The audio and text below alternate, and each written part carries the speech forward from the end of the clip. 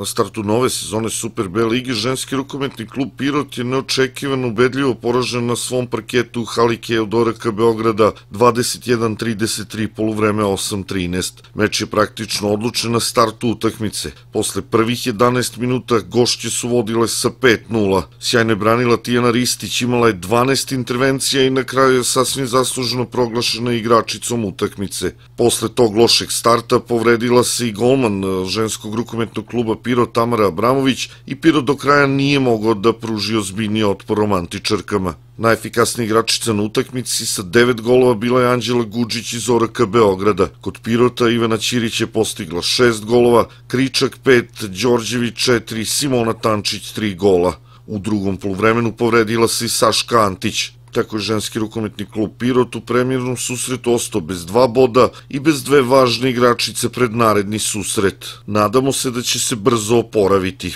Sve u svemu zaslužena pobjeda Oraka Beograda 33-21.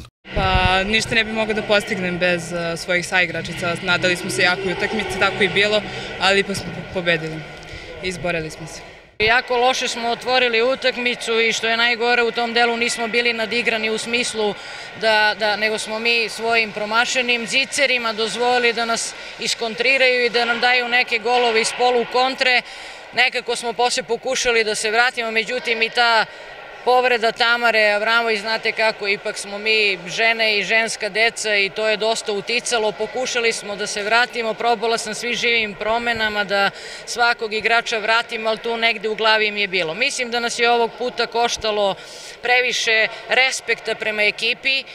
U narednom kolu ženski rukometni klub Pirot gostuje u Rumi gde se sastaje sa ekipom Slovena.